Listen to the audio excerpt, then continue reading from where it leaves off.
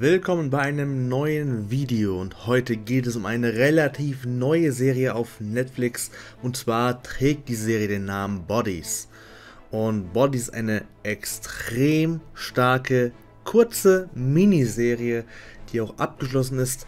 Das Ende wurde so gestaltet, dass es rein theoretisch weitergehen könnte, aber an sich ist abgeschlossen und ich glaube auch nicht, dass da noch was kommen wird. Zumindest hoffe ich, dass da nichts mehr kommen wird, weil ansonsten würde es einiges kaputt machen. Aber die Serie ist wirklich in sich schon abgeschlossen. Sehr, sehr, sehr krass. In dieser Serie geht es nämlich darum, dass im Prinzip in der modernen Zeit, also in diesem Jahr 2023, eine Leiche gefunden wird von der Inspektorin Hassan.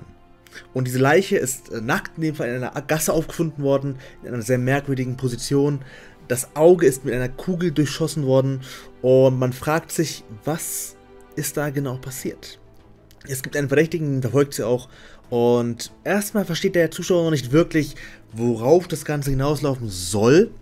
Aber später, in der gleichen ersten Folge, erfahren wir dann, dass die Zeit, in der wir uns gerade befinden, zurückgespult wird in das Jahr der 1940er, während des Krieges noch. Und auf einmal sehen wir einen ganz anderen Detective, der durch einen Zufall genau die gleiche Leiche an genau dem gleichen Ort, in genau dem gleichen Zustand und der gleichen Wunde vorfindet. Und man fragt als Zuschauer natürlich, okay, was ist da passiert? Wie kann das sein? Was geht hier überhaupt ab?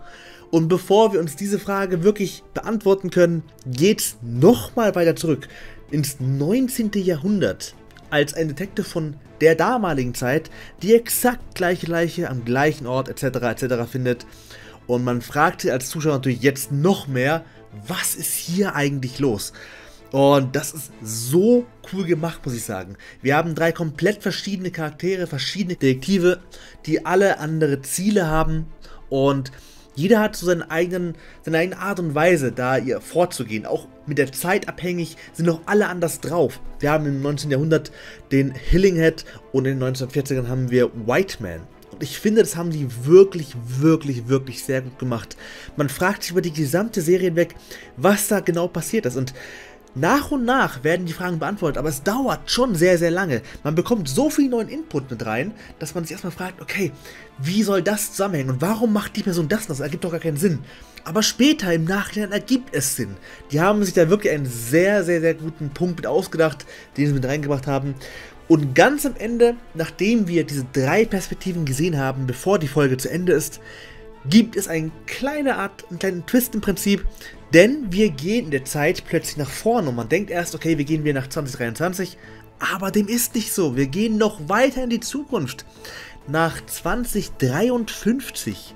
Und wir sehen, dass eine vierte Person, eine Detektive mit dem Namen Maplewood, in der Zukunft die gleiche Leiche am gleichen Ort, in der gleichen Position, mit der gleichen Wunde findet und man ist komplett verwirrt. Also die erste Folge ist eigentlich eine perfekte Aufhängerfolge. Man weiß in dem Fall jetzt, was hier gerade der Stil ist. Es ist eine Mystery-Serie und man kann sich auf sehr, sehr viel freuen. Diese erste Folge ist eine wirklich perfekte Startfolge und es sind auch nicht zu viele Folgen, es sind nur acht Episoden in, wie gesagt, einer Staffel. Empfehlung geht auf jeden Fall raus und vor allem gegen Ende hin wird sehr viel Kleinzeugs erklärt. Man kann sich schon denken, es geht vor allem auch so um Zeitreisen, aber wie das genau zusammenhängt mit allem anderen, ist wirklich grandios geklärt. Eine super Serie. Ich muss wirklich sagen, Netflix bringt in letzter Zeit nicht mehr viele gute Serien mit raus, aber das ist wirklich eine dermaßen gute Serie gewesen. Ich bin wirklich erstaunt, wie gut sie mir gefallen hat.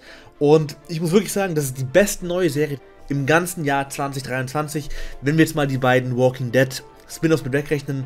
Aber von allen anderen Sachen definitiv kommt nichts auch nur annähernd da dran. Empfehlung geht auf jeden Fall raus.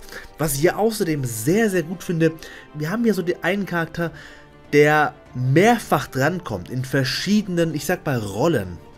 Und ich finde die Art und Weise, wie sie es geklärt haben, dass es Sinn ergibt, warum der in mehreren Rollen vorkommt, ist wirklich sau gut gemacht. Es wurde von den Produzenten außerdem gesagt, dass es extra offen gelassen haben am Ende, einen Teil zumindest, dass man weitermachen könnte, aber dieser ganze Hauptstrang ist erledigt, also da braucht man sich keine Sorgen machen. Die Hauptstory ist erledigt und fertig, nur ganz am Ende gibt es so eine kleine Art, gibt so ein kleines offenes Ende, daher da nicht wundern. Ein weiterer Punkt, der mir da außerdem aufgefallen ist, ich kenne niemanden dieser ganzen Schauspieler was ich sehr gut finde. Weil oft ist es so, dass man sich schon darauf freut, dass vielleicht bekannte Schauspieler mit dabei sind, die man von einem anderen Projekt kennt und da hat man auch gleich ein gutes Bild davon. Und wenn man aber niemanden davon kennt, hat man immer so eine schlechtere Meinung, bevor man mal wirklich damit gestartet hat. Aber hier hat wirklich jeder Schauspieler eine super Leistung abgeliefert. Ich möchte auch nicht zu viel spoilern und so eine Art, natürlich nicht. Aber was ich wirklich grandios finde, dass jeder dieser ganzen Charaktere, dieser ganzen Detektive, die wir treffen, alle ihre eigenen Schwierigkeiten haben. Alle haben verschiedene Probleme zu bewältigen, privat oder öffentlich, und alle arbeiten an ihrem eigenen Problem, während sie gleichzeitig auch versuchen, dieses Mysterium aufzudecken. Und ich muss auch sagen, vor allem bei White Man in den 1940ern kommt halt dieses Piggy Blinders Feeling auch rüber. Das ist halt generell so cool. Also diese Art und Weise, wie sie die Leute anziehen, wie sie da drauf sind, wie die aussehen, auch mit den Haaren, mit den Schnauzern es ist eine ganz andere Art und Weise. Es fühlt sich so klassisch an und ich muss auch sagen, ich bin ein großer Fan von solchen Stilen. Daher hat mir seine Storyline auch am besten gefallen, auch weil der Charakter selber auch eigentlich so der coolste ist. Ich muss aber auch sagen, dass zum Beispiel der allererste Hillinghead, der aussieht wie der junge Dumbledore, auch eine coole Geschichte hatte. Und aber auch alle anderen beiden. Also alle vier hatten eine coole Storyline und alle haben auch irgendwas gemeinsam gehabt miteinander. Deshalb, ich will nicht zu viel spoilern, aber ich muss sagen, vor allem wie es am Ende gelöst wurde, ist es wirklich sehr, sehr, sehr gut gelöst. Es gab auch kein Plothole. Ich meine, die einzige Frage, die man sich stellen könnte, wo startet es und wo endet es? Das ist halt immer dieses eine Mysterium bei Zeitreisen, auch bei Alterreise-Filmen in dem Fall, wo man immer ein bisschen schwankt. Ich meine, manchmal kann man sich so überlegen, ergibt das jetzt wirklich Sinn? Kann es wirklich rein theoretisch so sein? Aber ich finde, die haben es sehr gut gelöst und deshalb würde ich sagen, schaut euch die Serie auf jeden Fall an. So viel mal dazu. Die Serie findet ihr, wie gesagt, auf Netflix selber. Guckt es euch auf jeden Fall an und da würde ich mal sagen, schreibt es gerne mal in die Kommentare, was ihr von der Serie gehalten habt. Das nächste wieder erscheint, wenn die Frage gestellt wird.